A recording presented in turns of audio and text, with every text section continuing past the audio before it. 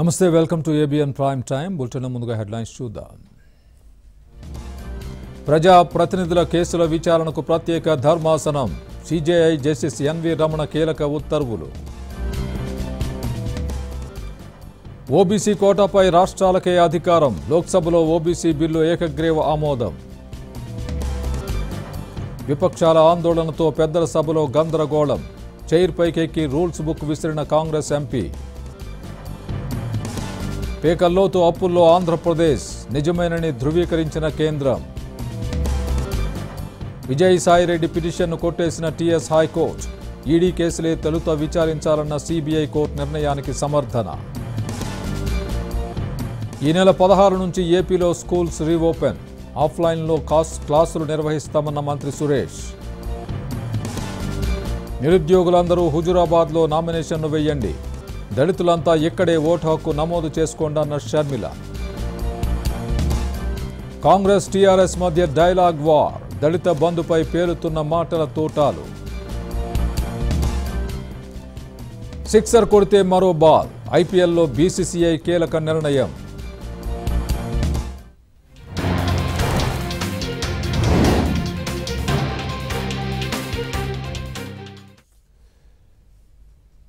నేరమయ రాజకీయాల నుంచి భారతావనికి విముక్తి కలిగించే దిశగా మరో భారీ ముందడుగు పడింది. న్యాయ వ్యవస్థలో సమూల మార్పుల దిశగా వడివడిగా అడుగులు వేస్తున్న భారత ప్రధాన న్యాయమూర్తి ఎన్వి రమణ నేర చరిత్రలను రాజకీయాలకు దూరంగా ఉంచే చర్యలు చేపట్టారు. కేసులు ప్రజా ప్రతినిధులు పర్యాయ పదాలుగా మారిన తరుణంలో ప్రజలకు స్వచ్ఛమైన పాలన అందించే దిశగా సర్వోన్నత న్యాయస్థానం ఇటీవలి కాలంలో అనేక కీలక ఆదేశాలిచ్చింది. తాజాగా ప్రతిపాదిత ప్రత్యేక ధర్మాసనం కూడా అలాంటిదేనని చెప్పుకోవాలి.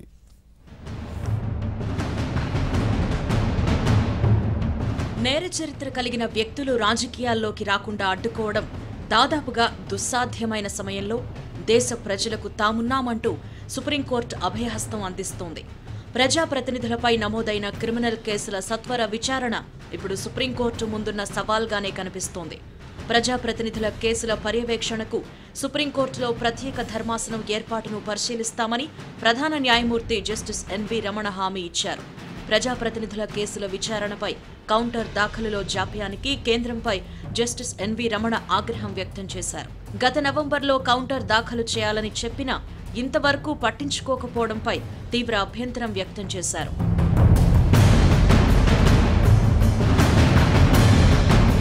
ఎమ్మెల్యేలు ఎంపీలపై ఉన్న క్రిమినల్ కేసులను సంబంధిత హైకోర్టుల అనుమతి లేకుండా ఉపసంహరించుకోకూడదు అని కూడా అమికస్ క్యూరీ విజయ్ ఎన్సారియా నివేదికలోని సిఫారసులను అమలు చేయాలి అని సూచించింది. కర్ణాటకలో ఏకంగా అరవై ఒక్క కేసులు ఉపసంహరించుకున్న వైనాన్ని ప్రస్తావించింది. రెండేళ్ళ కాలంలో ఎంపీలు ఎమ్మెల్యేలపై నమోదవుతున్న కేసుల సంఖ్య పదిహేడు శాతం పెరిగినప్పటికీ కేంద్రం మీనమేషాలు లెక్కిస్తోంది అంటూ ధర్మాసనం తీవ్ర ఆగ్రహం వ్యక్తం చేసింది. కేంద్ర ప్రభుత్వ నిర్లక్ష్యం ఉదాసీన వైఖరి వల్లే నేర చరిత్రలపై కేసులు నత్తనడకన నడుస్తున్నాయంటూ నర్మగర్భ వ్యాఖ్యలు చేసింది. రాజకీయ నాయకులపై క్రిమినల్ కేసులను విచారిస్తున్న ప్రత్యేక న్యాయమూర్తులు మ్యాజిస్ట్రేట్లను ఆయా కేసుల విచారణ పూర్తయ్యే వరకు బదిలీ చేయకూడదు అని కూడా ఆదేశించింది. కౌంటర్ దాఖలుకు మరో రెండు వారాలు కేంద్రానికి అవకాశం ఇచ్చారు. కౌంటర్ దాఖలు చేయకపోతే కేంద్రం దగ్గర చెప్పడానికి ఏమీ లేదని భావిస్తామని కూడా జస్టిస్ ఎన్వి రమణ అన్నారు. స్టేటస్ రిపోర్ట్ అందించేందుకు కేంద్రం రెండు వారాల సమయం కోరడంతో సుప్రీంకోర్టు తీవ్ర అసహనం వ్యక్తం చేసింది. ఇదే ఆఖరి అవకాశమని తేల్చి చెప్పింది. ప్రత్యేక కోర్టుల్లో ఉన్న కేసుల వివరాలను కూడా తమకు అందించాలి అని ఆదేశించింది. పెండింగ్లో ఉన్నవి తీర్పులు వచ్చినవి అలా అన్ని కేసుల వివరాలు ఇవ్వాలి అని హైకోర్టుల రిజిస్ట్రార్ జనరల్ను ఆదేశించింది. రాజకీయ పార్టీలు ఎన్నికల్లో పోటీ చేసే తమ అభ్యర్థులను ఎంపిక చేసిన నలభై ఎనిమిది గంటల్లోగా వారి నేర చరిత్రను బహిర్గతం చేయాలి అని సుప్రీంకోర్టు తేల్చి చెప్పింది. నామినేషన్ గడువుకు కనీసం రెండు వారాల ముందు ఆ వివరాలను బహిర్గతం చేయాలని తాజా తీర్పులో కుండబద్దలు కొట్టింది. నేర చరిత్రల వివరాలు పబ్లిక్ డొమైన్లో ఉండాలని కూడా ఆదేశించింది.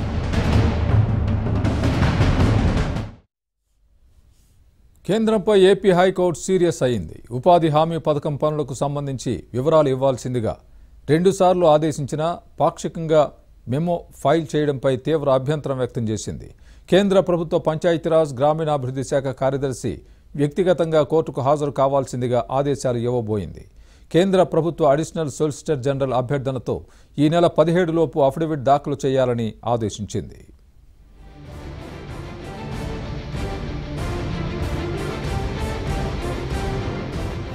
ఏపీలో జాతీయ ఉపాధి హామీ పథకం కింద చేపట్టిన పనులు చెల్లించిన బిల్లుల వివరాలను వెంటనే అందించాలన్న ఆదేశాలను కేంద్రం పాటించకపోవడంపై ఏపీ హైకోర్టు సీరియస్ అయింది. జూలై తొమ్మిదిన ముప్పైన ఆదేశాలు ఇచ్చినప్పటికీ కేంద్ర ప్రభుత్వ కార్యదర్శి పాక్షిక వివరాలను కోర్టుకు అందించడంపై హైకోర్టు ఆగ్రహం వ్యక్తం చేసింది. పాక్షిక వివరాలు అందజేయడం ఏంటని ప్రశ్నించింది. కేంద్ర పంచాయతీరాజ్ గ్రామీణాభివృద్ధి శాఖ కార్యదర్శిని వ్యక్తిగతంగా కోర్టుకు హాజరు కావాల్సిందిగా ఆదేశాలు ఇస్తూ ఉండగా కేంద్ర ప్రభుత్వ అడిషనల్ సొలిసిటర్ జనరల్ జోక్యం చేసుకున్నారు. వెంటనే వివరాలు సమర్పిస్తామని అభ్యర్థించడంతో పాటు కేంద్ర ప్రభుత్వ కార్యదర్శిని కోర్టుకు పిలిపించవద్దని విజ్ఞప్తి చేశారు. దీంతో ఈ నెల పదిహేడు నాటికి పూర్తి వివరాలు అందించాలని హైకోర్టు ఆదేశాలు జారీ చేసింది.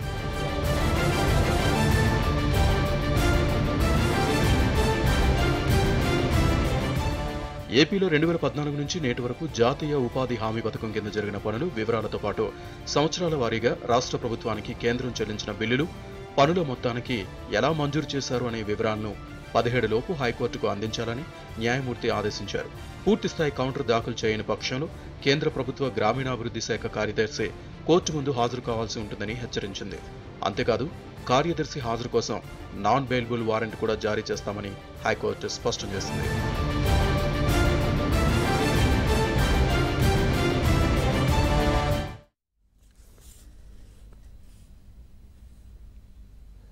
కర్నూలు జిల్లాలో సర్పంచ్కు గ్రామ పంచాయతీ సెక్రటరీ నోటీసులు ఇచ్చిన వ్యవహారంపై ఏపీ హైకోర్టు ఆగ్రహం వ్యక్తం చేసింది. సర్పంచ్కు పంచాయతీ కార్యదర్శి నోటీసులు ఇవ్వడాన్ని తప్పుపట్టింది. నోటీసులను సస్పెండ్ చేస్తూ కౌంటర్ దాఖలు చేయాలని అధికారుల్ని హైకోర్టు ఆదేశించింది.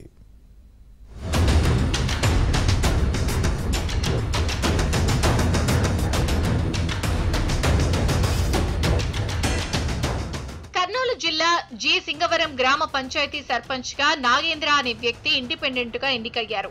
గ్రామంలో గ్రామ సచివాలయ భవనాన్ని నిర్మించాలని సర్పంచ్ స్థలం చూపించినప్పటికీ నిర్మించకుండా ఊరికి దూరంగా నీటిపారుదల శాఖకు చెందిన స్థలంలో గ్రామ సచివాలయ భవనాన్ని నిర్మించడం ప్రారంభించారు. దీనికయ్యే ఖర్చు తొమ్మిది లక్షలు. గ్రామ పంచాయతీ నిధుల నుంచి మంజూరు చేయాలని గ్రామ పంచాయతీ కార్యదర్శి సర్పంచ్ నాగేంద్రకు నోటీసులు జారీ చేశారు. దీనిపై నాగేంద్ర హైకోర్టును ఆశ్రయించగా ఆయన తరపున న్యాయవాది యలమంజుల బాలాజీ హైకోర్టులో వాదనలు వినిపించారు.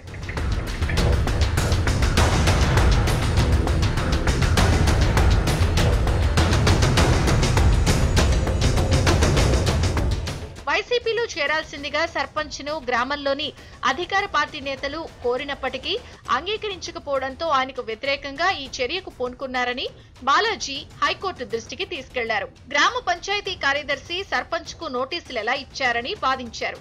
గ్రామ సభ ఆమోదం లేకుండా సచివాలయ నిర్మాణాన్ని ఊరికి దూరంగా నిర్మించడంపై అభ్యంతరం వ్యక్తం చేశారు. పరిశీలించి తగిన ఆదేశాలు ఇవ్వాలని హైకోర్టును అభ్యర్థించారు. సర్పంచ్ తరపు న్యాయవాది వాదనలు విన్న హైకోర్టు పంచాయతీ కార్యదర్శి నోటీసులు ఇవ్వడాన్ని హైకోర్టు తప్పుబట్టింది. గ్రామ సభ ఆమోదం లేకుండా గ్రామ సచివాలయ భవన నిర్మాణాన్ని ఎలా చేపడతారని ప్రశ్నించింది.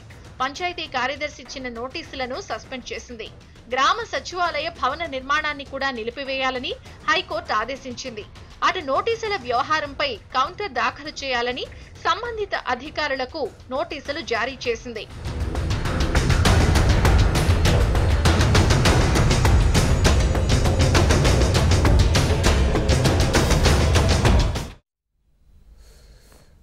జగన్మోహన్ రెడ్డి అక్రమాస్తుల కేసులో హైకోర్టు కీలక తీర్పు ఇచ్చింది మరోవైపు ఏటూగా ఉన్న విజయసాయిరెడ్డి బెయిల్ రద్దు పిటిషన్పై సిబిఐ కోర్టు విచారణ జరిపింది కౌంటర్ దాఖలు చేయాలని ఆదేశించింది. అక్రమాస్తుల కేసులో జగన్ విజయసాయిరెడ్డికి హైకోర్టులో ఎదురుదెబ్బ తగిలింది. ముందుగా ఈడీ కేసులపై విచారణ జరపాలన్న సిబిఐ ఈడీ కోర్టుల నిర్ణయాన్ని సవాల్ చేస్తూ విజయసాయిరెడ్డి వేసిన పిటిషన్పై హైకోర్టు కీలక తీర్పునిచ్చింది. జగన్ అక్రమాస్తుల వ్యవహారంలో సిబిఐ కేసులతో సంబంధం లేకుండా ఈడీ కేసులపై ప్రత్యేకంగా విచారణ చేపట్టవచ్చంటూ సిబిఐ కోర్టు జనవరి పదకొండున ఉత్తర్వులిచ్చింది. దీన్ని సవాల్ చేస్తూ జగతి పబ్లికేషన్స్ విజయసాయిరెడ్డి హైకోర్టులో పిటిషన్ దాఖలు చేశారు. సీబీఐ కేసులో నిర్దోషిగా విడుదలైతే దాని ఆధారంగా విచారణ చేపట్టిన ఈడీ కేసు నిలబడదని వాదించారు. అయితే హైకోర్టు మాత్రం కింది కోర్టు ఇచ్చిన ఆదేశాలను సమర్థిస్తూ విజయసాయిరెడ్డి పిటిషన్ను కొట్టివేసింది. మరోవైపు జగన్ అక్రమాస్తుల కేసులో ఏటు విజయసాయిరెడ్డి బెయిల్ రద్దు చేయాలంటూ దాఖలైన పిటిషన్పై సిబిఐ కోర్టు విచారణ జరిపింది. పిటిషన్ దాఖలు చేసిన వైసీపీ రెబల్ అభ్యర్థి ఎంపీ రఘురామకృష్ణరాజు నాలుగు అంశాలను కోర్టు దృష్టికి తీసుకొచ్చారు. ఎంపీ విజయసాయిరెడ్డి కేంద్ర హోం ఆర్థిక మంత్రిత్వ శాఖ కార్యాలయాల్లో అధికారులను తరచూ కలుస్తూ తనకు కేంద్ర మంత్రులతో సన్నిహిత సంబంధాలున్నాయనే విధంగా చిత్రీకరించి సాక్షులను ప్రత్యక్షంగా పరోక్షంగా భయపెడుతున్నారని రఘురామ తన పిటిషన్లో తెలిపారు. సెంట్రల్ గవర్నమెంట్ ఎంపీ అయి ఉండి పెద్ద పెద్ద మినిస్టర్లని పన్నున్నా లేకపోయినా కలిసి ఆ ఫోటోలన్నీ ఇక్కడ ప్ర ప్రచారించి ఇండైరెక్ట్గా ఇక్కడున్న విట్నెస్ని వాళ్ళని ఓ రకమైన థ్రెట్లో పెడుతున్నమాట ఈ రకంగా ఇండైరెక్ట్గా విట్నెస్ని థ్రెటనింగ్ చేస్తున్నారన్నమాట. మేము మాకు ఫర్గా చెప్పండి అని. ఈ పరిస్థితిలో బెయిల్ క్యాన్సిల్ చేయమని వేసామండి. ఇది కాకుండా అఫీషియల్ ఇది. ఆయన చాలా పొలిటికల్గా చాలా కామెంట్స్ చేస్తారు కదా వచ్చారు are అవి వాటి మీద మేము పిటిషన్ ఆయన బెయిల్ క్యాన్సిల్ చేయమని వేసామండి. మరోవైపు విజయనగరం మాన్సస్ ట్రస్ట్ విషయంలో ఏపీ ప్రభుత్వం ఇచ్చిన నాలుగు జీవోలు చట్టవిరుద్ధమని హైకోర్టు కొట్టివేసిన సందర్భంలో అశోక్ గజపతిరాజు దొడ్డిదారిన కోర్టు ఉత్తర్వులు తెచ్చుకున్నారని ఆయన్ను జైలుకు పంపుతామని విజయసాయిరెడ్డి చేసిన వ్యాఖ్యలు కోర్టు ధిక్కరణే అవుతుందని అన్నారు. బెయిల్ కండిషన్లు పదే పదే ఉల్లంఘించడం సోషల్ మీడియాలో జ్యుడిషియల్ వ్యవస్థపై వైసీపీ కార్యకర్తల పోస్టులకు భరోసా ఇవ్వడాన్ని కూడా రఘురామ కోర్టు దృష్టికి తీసుకెళ్ళారు. ఇక పిటిషనర్గా తాము విజయసాయిరెడ్డికి నోటీసులు పంపిస్తే తిరస్కరించారని కోర్టు ఆర్డర్ ఇస్తేనే నోటీసు తీసుకుంటామని తెలిపారంటూ కోర్టుకు రఘురామ లాయర్ తెలిపారు. దీంతో విజయసాయిరెడ్డిపై హైకోర్టు ఆగ్రహం వ్యక్తం చేసింది. పిటిషనర్ ఇచ్చిన నోటీసులకు సిబిఐ స్పందించింది. మీరు ఎందుకు తీసుకోలేదంటూ కోర్టు ప్రశ్నించింది. కౌంటర్ దాఖలు చేయాలని సిబిఐ అధికారులు విజయసాయిరెడ్డికి ఆదేశిస్తూ తదుపరి విచారణ ఈ నెల పదమూడుకి వాయిదా వేసింది. కృష్ణా జిల్లా మండవల్లి సబ్ రిజిస్టార్ కార్యాలయంలో భారీ కుంభకోణం జరిగింది. నకిలీ చలానాలతో సుమారు డెబ్బై ఐదు లక్షల మేర మోసం జరిగింది. నకిలీ చలానాల దుర్వినియోగాన్ని అరికట్టేందుకు ప్రభుత్వం కొత్తగా సీఎంఎఫ్ఎస్ పద్ధతిని తీసుకువచ్చింది. దీనికి సంబంధిత రికార్డుల్ని జిల్లా అధికారులు తనిఖీ చేస్తుండగా కుంభకోణం బట్టబయలైంది.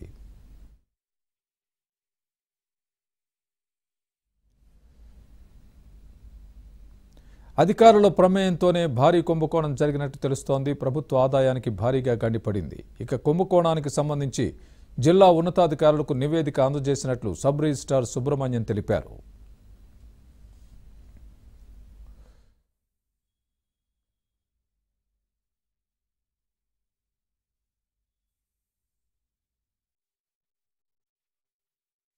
చలనాల గురించి బోగస్ చలనాలు వచ్చినాయండి.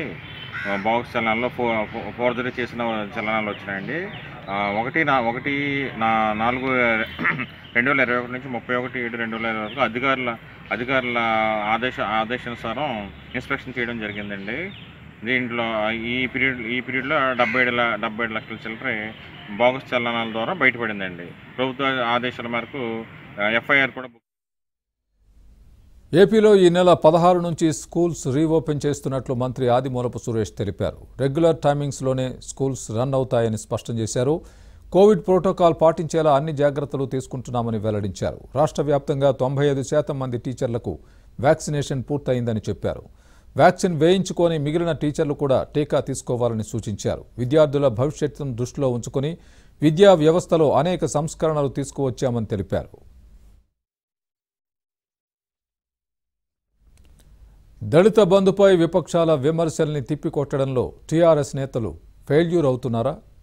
దాంతో అధినేతనే నేరుగా రంగంలోకి దిగుతున్నారా? విమర్శకులకు హుజూరాబాద్ సభలో కేసీఆర్ ఎలా కౌంటర్ ఇవ్వబోతున్నారు? విపక్షాలకు కేసీఆర్ ఎలా కౌంటర్ ఇస్తారు అనేది ఇప్పుడు ఆసక్తికరంగా మారింది.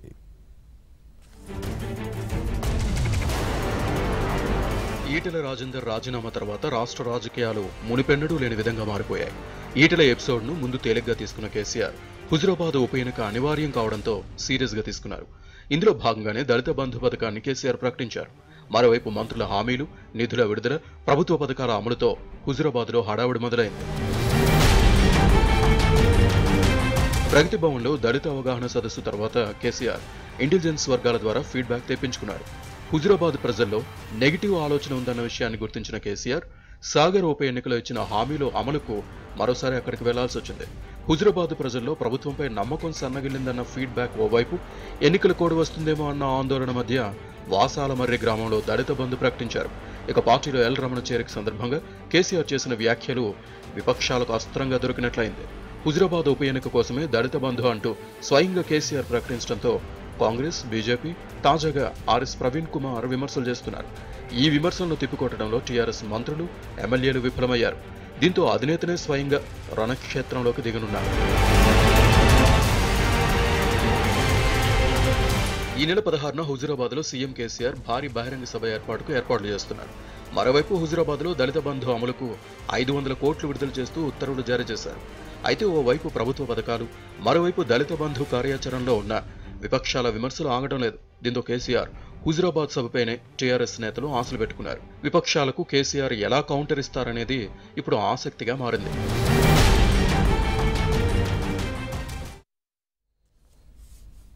హుజూరాబాద్ ఉప ఎన్నికలపై వైఎస్ షర్మిల సంచలన వ్యాఖ్యలు చేశారు. తెలంగాణలోని దళితులందరూ హుజూరాబాద్లో ఓటు నమోదు చేసుకోవాలని అన్నారు. నిరుద్యోగులు నేతనుల భార్యలు కేసీఆర్ తీసేసిన ఉపాధి హామీ ఫీల్డ్ అసిస్టెంట్లు హుజూరాబాద్ ఉప ఎన్నికల్లో నామినేషన్లు వేయాలని అన్నారు. కరీంనగర్ జిల్లా ఇల్లంతకుంట మండలం సిరివేడులో ఆత్మహత్య చేసుకున్న నిరుద్యోగి షబీర్ కుటుంబాన్ని పరామర్శించారు షర్మిల. చెప్తున్నాం. రాష్ట్ర వ్యాప్తంగా ఉన్న దళితులకు చెప్తున్నాం. రండి. దళితులందరూ హుజూరాబాద్కు రండి. హుజూరాబాద్కు వచ్చి మీ ఓటును ఇక్కడ నమోదు చేసుకోండి. కేసీఆర్ గారిచ్చే పది లక్షలు ప్రతి దళిత కుటుంబము తీసుకోండి. తీసుకొని ముక్కు పిండి ఇంకో నలభై ఒక్క లక్ష రూపాయలు మాకు రావాలని వసూలు చేయండి. ప్రతి దళిత కుటుంబము హుజూరాబాద్కు వచ్చి ఓటు నమోదు చేసుకోమని మేము విజ్ఞప్తి చేస్తున్నాం. బీఎస్పీ రాష్ట్ర కోఆర్డినేటర్ ఆర్ఎస్ ప్రవీణ్ కుమార్కి కరోనా పాజిటివ్గా నిర్ధారణ అయింది. కోవిడ్ లక్షణాలు కనిపించడంతో ఆయన గాంధీ హాస్పిటల్లో వైద్య పరీక్షలు చేయించుకున్నారు. అక్కడ కరోనా పరీక్షల్లో ఆర్ఎస్కు కరోనా వచ్చినట్టు తేలింది. రెండు రోజుల క్రితం ప్రవీణ్ కుమార్ నల్లగొండలో భారీ బహిరంగ సభ నిర్వహించారు. రాష్ట్రం నలుమూలల నుంచి ఆ సభకు స్వేరోలు బీఎస్పీ శ్రేణులు హాజరయ్యారు.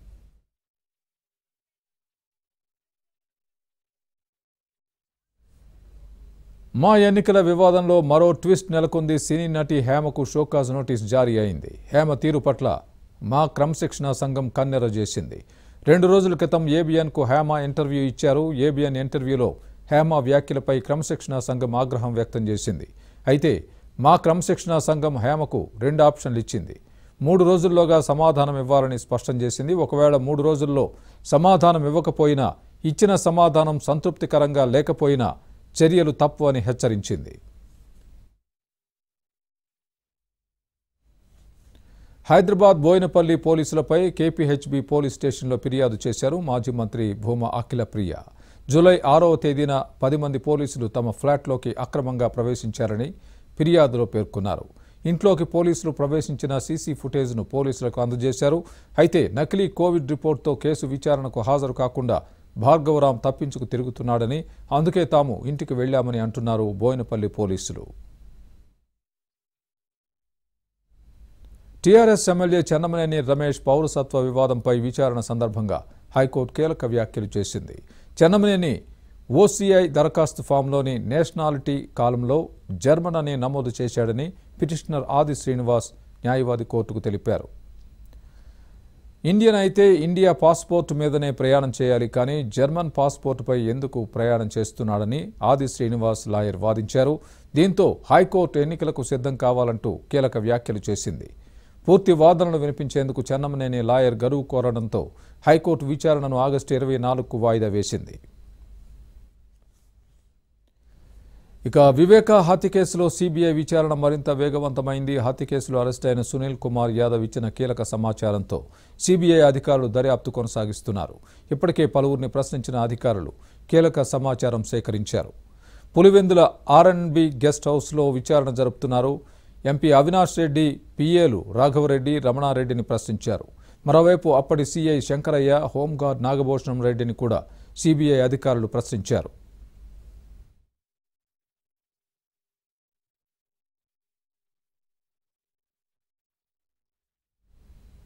ఇక గుంటూరు జిల్లాలో పది కోట్ల భూ కుంభకోణం బయటపడింది పెదకాకాని మండలం అగవతారపాడులో. యజమానికి తెలియకుండా నకిలీ పత్రాలు సృష్టించిన ముఠాను పోలీసులు అరెస్ట్ చేశారు.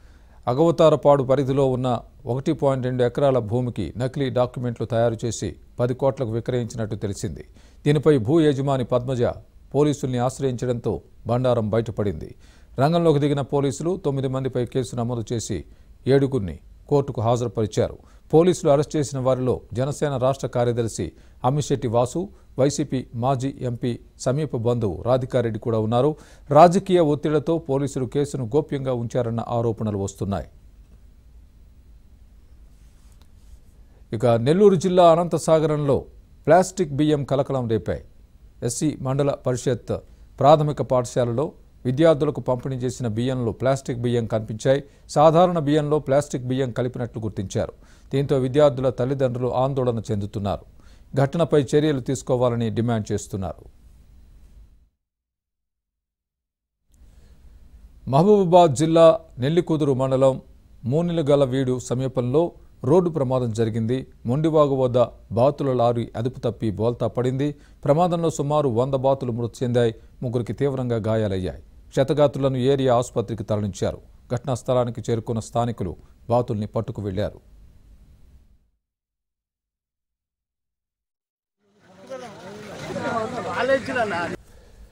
ఓబీసీ బిల్లుకు లోక్సభ ఆమోదముద్ర వేసింది. రిజర్వేషన్ల కోసం ఓబీసీ జాబితాను సిద్ధం చేసే అధికారం రాష్ట్రాలకు అప్పగించడం ఈ బిల్లులోని ముఖ్య అంశం ఏకగ్రీవంగా ఈ బిల్లు ఆమోదం పొందడం కూడా విశేషమే. రిజర్వేషన్ల కోసం ఓబీసీ జాబితాను సిద్ధం చేసే అధికారాన్ని రాష్ట్రాలకి అప్పగిస్తున్నారు. రాజ్యాంగ నూట ఇరవై ఏడవ సవరణ బిల్లుకు లోక్సభ ఏకగ్రీవంగా ఆమోదం తెలిపింది. తొలుత కేంద్ర మంత్రివర్గం ఆమోదం తెలిపిన ఈ బిల్లును రాజ్యసభలో కూడా ఆమోదించారు. ఇక లోక్సభలో గందరగోళ పరిస్థితులు ఉన్నప్పటికీ ఓబీసీ రిజర్వేషన్ బిల్లుపై చర్చకు మాత్రం విపక్షాలు అడ్డుతగలేదు బిల్లుకు రాష్ట్రపతి ఆమోదముద్ర పడి చట్టరూపం దాల్చితే రాష్ట్రాలు కేంద్రపాలిత ప్రాంతాలు తమ అవసరాలకు అనుగుణంగా ఓబీసీ జాబితాను సిద్ధం చేసుకునే అవకాశం ఉంది. కేంద్రంతో సంబంధం లేకుండా మరాఠాలు గుజ్జర్లు రిజర్వేషన్ పొందుతారు. అయితే రిజర్వేషన్ శాతం యాభై శాతం దాటకూడదు. మరోపక్క లోక్సభలో ఆసక్తికర చర్చ కూడా జరిగింది. బీసీలకు ఎన్టీఆర్ కల్పించిన సదుపాయాలను టీడీపీ ఎంపీ రామ్మోహన్ నాయుడు గుర్తు చేశారు. కులగణనకు ఇది సదావకాశమన్నారు. ఓబీసీలకు ప్రత్యేక మంత్రిత్వ శాఖ ఉండాలన్నారు. Naidu garu strongly stand in support of this important and historic bill sir. If you look at the history when the Mandal Commission has proposed the 27% and when it was implemented, I want to remind this august house that our beloved leader, the uh, uh, Nandamuri Tarak Ramarao Garu, who has formed the Telugu Desam party, has played a very crucial role in the implementation of that reservation as he was the chairman of the National Front at that point of time. కొన్ని OBC కులాల కోసమే ఈ బిల్లును తెచ్చారని MIM MP Asaduddin Owaisi అన్నారు reservation యాభై శాతం ఎందుకు దాటడం లేదని ఆయన ప్రశ్నించారు ఇక యూపీ ఎన్నికల కోసమే ఈ బిల్లును తెచ్చారని తమిళ పార్టీలు ఆరోపించారు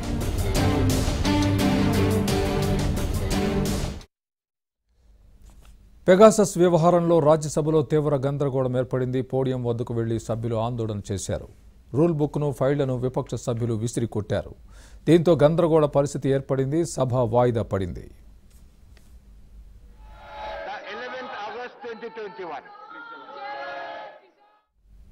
కాంగ్రెస్ సభ్యుడు ప్రతాప్ సింగ్ బజ్వా ఫైళ్ళను విసిరేశారు.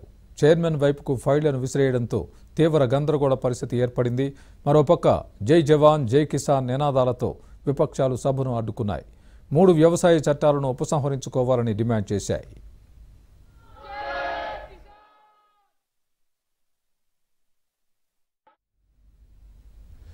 గందరగోళ పరిస్థితుల మధ్య సభను నిర్వహించేందుకు ప్రయత్నించి విఫలం కావడంతో రేపటికి వాయిదా వేశారు. ప్రధానమంత్రి రెండో విడత ఉజ్వల యోజనను ప్రారంభించారు పది మంది మహిళలకు ఉచిత గ్యాస్ కనెక్షన్లను ప్రధాని పంపిణీ చేశారు ఎల్పీజీ స్టవ్లు దేశవ్యాప్తంగా ప్రతి ఇంట్లో ఉండాలని అన్నారు ప్రధాని మోదీ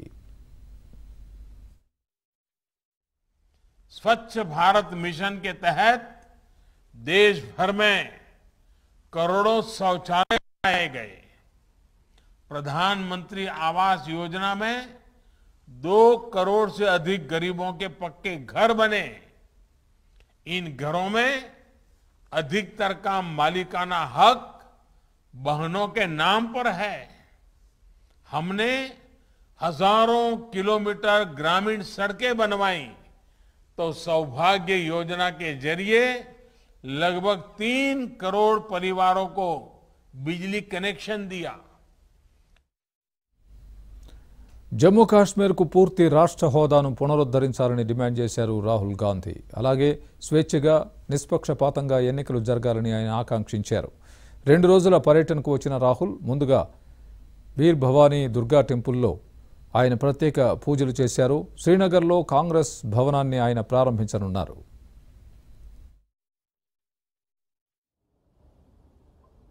इतनी लोकसभाएं नहीं है बड़ा स्टेट नहीं है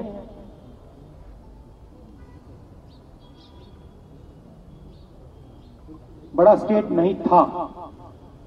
अभी तो स्टेट ही नहीं है।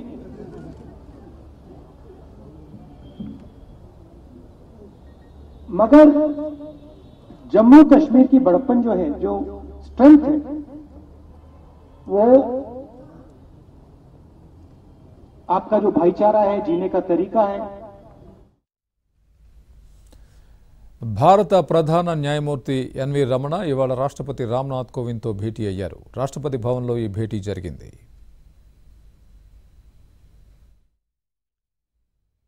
సుప్రీంకోర్టు ప్రధాన న్యాయమూర్తిగా జస్టిస్ రమణ బాధ్యతలు చేపట్టిన తర్వాత వారిద్దరూ భేటీ కావడం ఇదే మొదటిసారి.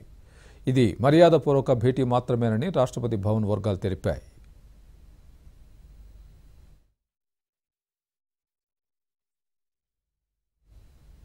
కేంద్ర ప్రభుత్వం అమల్లోకి తెచ్చిన నూతన ఐటీ నిబంధనలను ట్విట్టర్ ప్రాథమికంగా పాటించిందని ఢిల్లీ హైకోర్టుకు కేంద్రం తెలిపింది.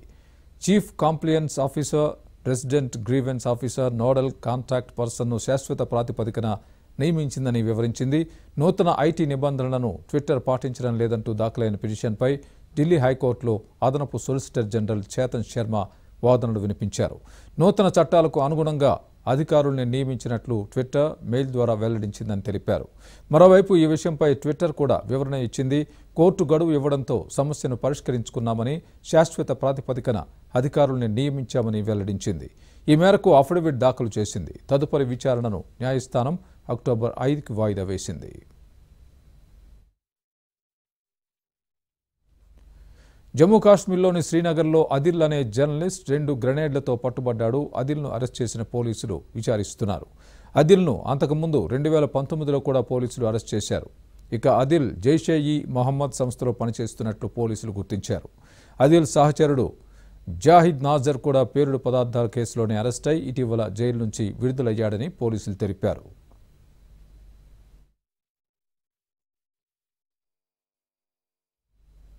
అమెరికా సేనలు వెనక్కి వచ్చాక ఆఫ్ఘనిస్తాన్లో పరిస్థితులు రోజు రోజుకు దిగజారుతున్నాయి. తాలిబాన్లకు దేశ బలగాలకు మధ్య జరుగుతున్న హింసాత్మక పోరులో సాధారణ పౌరులు బలవుతున్నారు. తాజాగా బాల్క్ ప్రావిన్స్లోని మజార్ ఏ షరీఫ్ను లక్ష్యంగా చేసుకున్నట్లు తాలిబాన్లు ప్రకటించడంతో భారత రాయబార కార్యాలయం అప్రమత్తమైంది. ఆ పరిసరాల్లో ఉన్న భారతీయులను వెంటనే స్వదేశానికి వెళ్ళిపోవాలని సూచించింది. ఇందుకోసం ప్రత్యేక విమానాన్ని అందుబాటులో ఉంచింది. మజార్ ఏ షరీఫ్ ఆఫ్ఘన్లోని నాలుగో పెద్ద నగరం అమెరికా తన దళాలను ఇక్కడి నుంచి ఉపసంహరణ దరిమిలా తాలిబాన్లకు దేశ సైన్యానికి మధ్య అక్కడ యుద్ధ వాతావరణం నెలకొంది.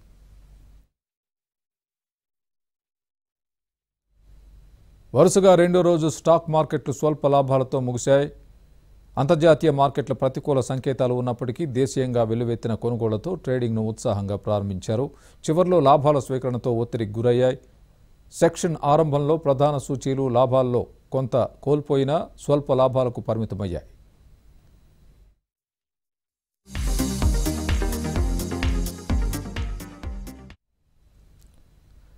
బ్యాంకింగ్ ఫార్మా రియాలిటీ రంగ షేర్ల మద్దతుతో ఉదయం ట్రేడింగ్ ఉత్సాహంగా ప్రారంభమైంది. యాభై నాలుగు వేల నాలుగు వందల అరవై ఒక్క పాయింట్లతో మొదలైన సెన్సెక్స్ ఒక దశలో యాభై నాలుగు వేల ఏడు వందల ఎనభై దగ్గర సరికొత్త ఇంట్రాడే గరిష్టాన్ని తాకింది. నిఫ్టీ కూడా పదహారు వేల మూడు వందల యాభై తొమ్మిది దగ్గర ట్రేడ్ అయింది.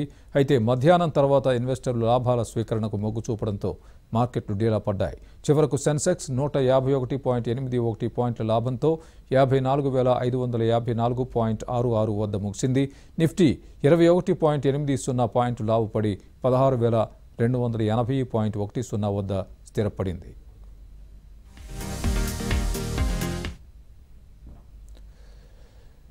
ఐపీఎల్ను విజయవంతం చేసేందుకు బీసీసీఐ కఠిన నిర్ణయాలు తీసుకుంటోంది. ఏమాత్రం కరోనా వైరస్కు అవకాశం ఇవ్వకుండా టోర్నీని నిర్వహించేందుకు జాగ్రత్తలు తీసుకుంటోంది. ఐపీఎల్కు సంబంధించి అన్ని వ్యవహారాలను దగ్గరుండి పర్యవేక్షిస్తోంది. ఆటగాళ్ళు ఎవరైనా సిక్సర్ కొడితే మరో బంతిని ఇవ్వనుందని ప్రస్తుతం బ్యాట్స్మెన్ సిక్సర్లు బాధితే స్టాండ్స్లోకి వెళ్ళిన బంతిని అంపైర్లు వెంటనే శానిటైజ్ చేస్తున్నారు. అయితే ఐపీఎల్లో బీసీసీఐ అంతకు మించే జాగ్రత్తలు తీసుకుంటోంది. ఏకంగా మరో బంతిని ఇవ్వనుందని తెలుస్తోంది. నిజానికి బంతితో కోవిడ్ వచ్చే అవకాశాలు దాదాపుగా లేవని అంటున్నారు. అయినా బీసీసీఐ ఏమాత్రం రిస్క్ తీసుకోవాలని భావించడం లేదు.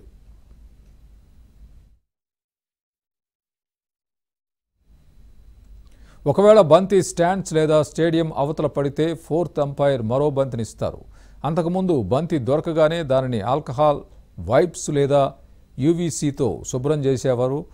మళ్ళీ బంతుల లైబ్రరీలో చేరుస్తారు. అలాగే ప్లేయర్లు మైదానంలో ఉమ్మి వేయడాన్ని బీసీసీఐ నిషేధించనుంది. దీనికోసం టిష్యూ పేపర్లను ప్లేయర్లకు ఇవ్వనుంది. వాటిని ఆటగాళ్ళే జాగ్రత్తగా చెత్తకుండీలో వేయాలి.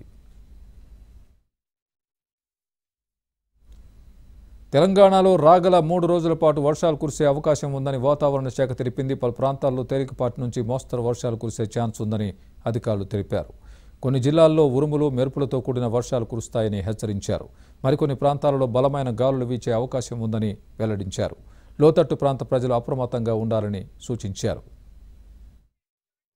మెరుపులతో కూడినటువంటి వర్షం అట్లాగే ఈ పిడుగుపాటు అనేది కూడా ఒకటి రెండు చోట్ల నమోదయ్యే అవకాశాలు ఉన్నాయి. హైదరాబాద్ పరిసర ప్రాంతాల్లో చూసుకున్నట్లయితే రాగల ఇరవై నాలుగు గంటల్లో అతి తేలికపాటి నుంచి తేలికపాటి వర్షాలు ఒకటి రెండు చోట్ల నమోదయ్యే ఛాన్సెస్ ఉన్నాయి. ఇవి బులెటిన్ విశేషాలు. చూస్తూనే ఉండండి. ఏబిఎన్.